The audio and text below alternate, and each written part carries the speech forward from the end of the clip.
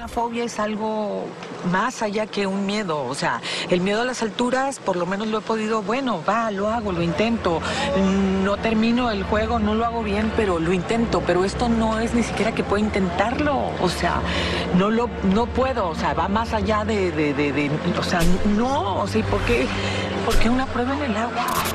Por eso, pero no pasa nada, mi amor. O sea, Pero todos lo van a hacer y, o sea, la única que no lo va a hacer soy No yo. pasa nada porque nada más va a ganar uno y ya no nos afecta en la puntuación y eso es lo de menos. Yo no puedo hacer esta, esta, esta prueba definitivamente de ninguna forma. O sea, no, o sea, ¿para qué exponerme a, a, a sentir, no, algo tan fuerte? Vamos a decirles, nada más para que lo sepan, ¿no?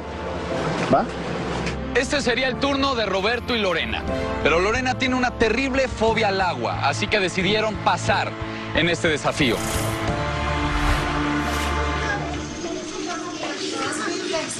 Pues ni modo. Así pasa cuando sucede. Yo soy una persona que no tengo casi miedos internos, emocionales. Pero el agua no es un miedo, es una fobia. Entonces, mi competencia, honestamente, no es con los demás. La competencia es conmigo misma. Y ahorita, pues, la forma de continuar en esto es echarle ganas.